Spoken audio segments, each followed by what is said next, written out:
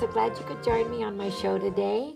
And um, I have a really special guest here. She's from um, Minnetonka area, West Hennepin, actually. And uh, she has a, a, program. They have a program that's very important for you all to hear. Of course, you know I, I'm on a journey and a mission. My mission is to help other women and, and help people survive the abuse of violence to women and uh, trafficking of women and all the above. And I have um, Judi Nelson here. She's from the Sojourner you said it organization. Right. Yeah, you got it right. Yeah, and, and, this, and this is Judi.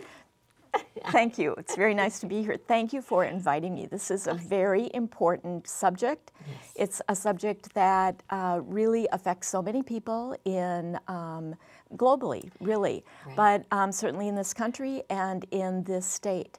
And um, we are an agency, Sojourner Project. Um, we are located in Minnetonka, which is the West Hennepin area. Uh, we provide um, services to battered women and their children. We are an organization that is committed to that mission. And so we provide those services in a number of ways. We are probably best known for our shelter services, um, sheltered for battered yeah. women. Okay. And I think people generally know that when women and children are not safe in their homes, they can call our, um, our hotline. We have a 24 hour. Well, we have a 24 hour hotline um, that they can call. That number, by the way, is 952 933 7422. Um, it is a 24 hour number, so you can call it 2 in the afternoon, 2 in the morning, Sunday, Saturday, Christmas Day, and, and, and a, a, person, important. a real person, a real, a real woman will answer the Yay. phone and give you information, give you support, and, um, and let you know about shelter if that is what your need is. Um, wow. Women and kids come to the shelter with sometimes the clothes on their backs, okay. and yeah. while they are there, we provide everything that they need. So, oh. food, clothing, medicine, um, diapers, formula, all those things, whatever oh women and her children need, is provided when they come to the shelter. Um, women also come to the shelter with um, goals goals to be safe. Right. And so um, as soon as they come to the shelter, they are assigned to an advocate, and the advocate helps them work on, their, on those goals. And finding safety sometimes involves um, finding another place to live, sometimes getting an order for protection, um, sometimes right. something that involves their children, custody, visitation, those types of things. Wow. Sometimes they need restraining orders um, or protective orders. And so we can help them with all those different things through the shelter services. So you have uh, you have inter you do a, like intervention.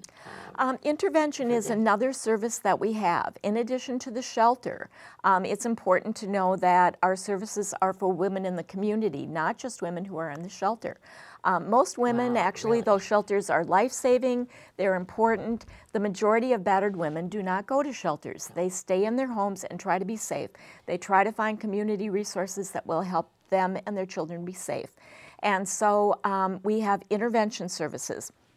We do intervention um, in coordination with the police departments of our areas in West Hennepin. So the Mound Police, the Hopkins Police, the Minnetonka Police, Deephaven, a number of their nine different police departments that we work with. And when they go to a domestic call, when they are clearing the call, um, when they're leaving, they call the shelter, the shelter pages an advocate, and the advocate phones the victim. So usually somebody's arrested, and you know, nine and a half times out of ten, someone's arrested. So the, vic- the victim gets a call from the advocate um, to give her information. Usually, you know, somebody in your family has just been arrested. You've got questions. Right. And oftentimes the question is, how can I stop this? I right. didn't know he was going to be arrested. How do I, you know, yeah, what happens? Right. So we can give them information and support and let them know what's going to be hap- happening and, um, and, and answer their questions about the criminal justice system. And then whether we continue, maybe the woman says, you know, no, no, that's fine, I don't want to work with you. Right. That's okay too. That's up to her. That's it's a service that's optional for her. But whether we're working with her or not, we follow the every case, every Good. one of the domestic cases that comes through wow. those police departments. We follow from the first appearance through probation, through through the oh, end. Oh, so that if at some point she does get interested and say what's going on, yeah. she can call us and we know exactly what's going on with every case and oh, we can let her know fabulous. and keep her informed. And so that's intervention. That's wow. But we also great. have community resources Oh, uh, wow. um, for women in the community who are not involved in the criminal justice system. For women who are in civil court, for instance, they have custody issues, they have divorce questions, they have um, problems with visitation, with housing. Um, we can help them with, with, all those areas of, yes, with all those areas of civil court. We also have, as I'm going on, we No, want also have um, support groups um, for women, which is a very transformative process. Um, I've been doing this work for over 25 years, and support groups are one of the most wonderful areas of working with women that I can think of. They really help women get long term support that can go on for years because abuse can go on for years. Abuse does go on for and years. I mean, it's over when he says it's over, let's face it. Yeah, let's and face it. um, and you, she can keep calling the police and keep going to court, but she continues to need support while she is going through these things. And then maybe he's going to sue her for custody, or maybe he's, Right. you You know, never know. maybe there are problems with child support. All those things Right. we can help women with. Wow, and, um, but the support group is really helpful in getting women connected with other women, women who are not going to ask her crazy questions like, Yeah. "What's wrong with you? Yeah, Why are you staying with him?"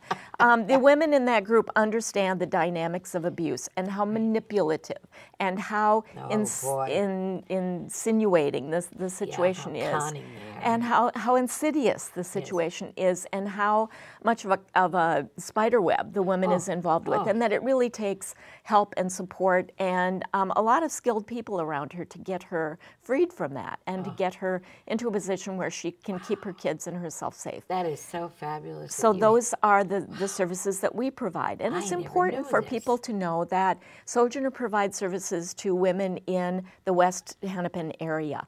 Um, but there is Home Free, which provides, uh, which provides identical services in the north areas. Um, uh, like um, uh, Maple Grove and Right. Plymouth, and those those areas Oh. are served by by Home Free. There are um, services in um, in St. Paul, um, such as Women's Advocates, which is um, is Right. here. There are a number of so of um, shelters and community services all over the metro area. And that the problem is that nobody knows about it. right, Judi. right, and in fact, all over the state here. and all over the country, Yeah, there are Nobody knows about it. Nobody. right. I wish to God, I wish to God, some of you news people out there in ABC or CBS or CNN would start talking about this and telling women where to get help. I'm, that's my camera. Yeah, yeah. no, that's yours. No, and and and help get this out this this message out there. We're talking about it at a small little cable station here in in White Bear Lake, Minnesota. This should be being aired all over the state of Minnesota. There should not be just us talking. There, they, they, these people, Sojourner organization, should be talked about at least once a week on major stations. One of the other issues And that's people know they have that's help. that's emerging in Minnesota, which is is a fairly new, well, in the last ten years, a fairly new area of our work is immigration, working with oh, yeah. immigrant and Oh, refugee oh, women. yeah. Um, there bringing are them in here. the the only place in um, in the world where there are more Somalis Right. than Minnesota Yes. is Somalia. Yes, it is. we have a huge um, Somalian population. I know we do. Um, and these people come from a very different culture, Oh, and they and women need support. They need to know what their rights are. They, need to know no that things are different they here. have any rights. Um, men and women both need to be um, uh, educated about women's rights in this country and what their rights are. Right. And there are a lot of services for um, for immigrants Oh, in this in this country and in this well, I know. Yeah, in our in our agencies. Um, you don't hear about that either. no, but we um, we do have um, interpreters who help us, and we do have immigration services that help us because um, very often um, immigrant and refugee um, battered women have issues that are specific and unique to them, and they need um, they need to be able to access services that can oh, help heavens, them. yes. Um, women who are here married to U.S. citizens Right. um, can, for instance, apply for their. They can self-petition, um, so Oh, they are no they? Longer dependent on their U.S. Um, spouse um, to um, to to get those those um, Oh, papers kidding. for them. They can they can self petition. There are U visas. There are a number of services that immigrant and refugee battered women can access. Wow. And most shelters have access to those resources, and most advocates um, are are informed and know about those those things Well, too. how do you get in touch with You know, people? one of the strengths of the battered women's movement and of the shelter movement in general is that um, there are a lot of resources that are all interconnected. Um, for instance, the Battered Women's Legal Advocacy Project is another project that's located in Minneapolis.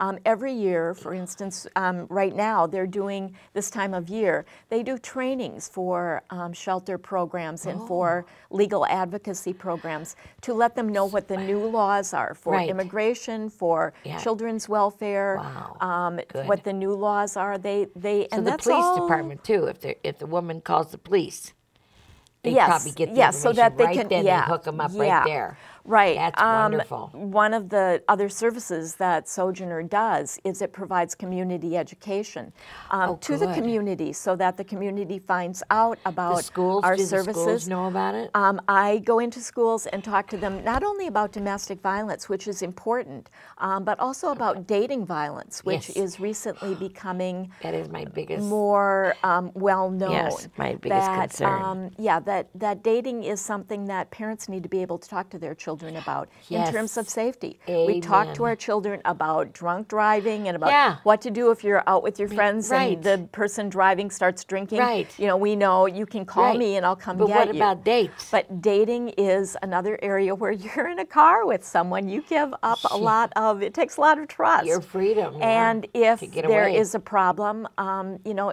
parents need to talk to kids about how to be safety, how to be safe. They need what to age do you think they should start talking to them? Um, when they're d- 12, 13, you know, they Me should. too. Me too. I agree. They should, as soon as they I start um, interacting with other kids Yep. and being on their own. I mean, our, I we want our kids to go out. You know, our kids Oh, are sure, arrows that we send Yes, out into yes. the um, into the world. And we, Tobias. right. Well, and when we send our kids out on dates, let's face it, we're we're not always knowing exactly what's going on. no, we I mean, my parents didn't always know exactly where I either. was. There are things I've never told my parents and never will um, that happened when I was dating. And I'm sure my kids have their own Yeah. secrets. Yeah, and sure. um, you know, so it's important for kids to know that even beyond their parents, that there are teachers they can call, or that they can call our hotline And at two o'clock in the morning. calling. And it's an anonymous call. We don't have caller ID. We won't call you back. Oh, good. You don't have to give your name, but you can call and someone can talk to you about what your questions are, what your concerns are. Right. Um, Liz Claiborne has um, recently, you know, Liz Claiborne, the designer. yes. She was very instrumental in starting um, websites and information about. It's called um, on a website loveisnotabuse.com. And Oh, um, there's also chooserespect.org, which are Oh, both wow. websites that teenagers can go to and get information Oh, about really? dating violence, dating safety, healthy relationships Listen up here, versus un- unhealthy relationships, uh, being able to recognize red flags. Yes. That I mean, it's it's very flattering when you first start dating someone if they're very attentive and they're very jealous. Yes, and and all that. um, you know that gets old real fast when they start calling you 20 times a day and they expect you to be available and they expect you to be picking up and they expect you to answer every text Yes. and and then there is online safety and there is stalking that occurs Oh, when people break God. up Oh, or even when people don't break up sometimes teenagers online it can be very dangerous Very. so they need to know how to keep themselves safe when they're online It's a wonderful service that you their have parents there. need to know how to Wow. monitor their safety and to make sure because kids are kids and they don't always have the capacity to make No. wise decisions to make safe decisions thing that meets in their head. What is that? Uh, oh, that- yeah, that little- a little. i know what you're talking It's a about little thing that says, "Oh, gee, if you do this, this is going to happen." Well, i- and they don't have the experience. They- And let's well, face it, our culture does not give kids healthy relationships um, as a model. They don't. Um, outside of their families, let's hope their families are, are good models. But outside of that, what do movies tell us? What does Oh, advertising Lord. tell us? What does Today pop is culture tell us? terrible. Right. Um, The music that they're listening to. Right, The right. games they're playing. and what what is the message about men and women and respect and respectful relationships? Sexual orientated and so nowadays. well and and respectful intimacy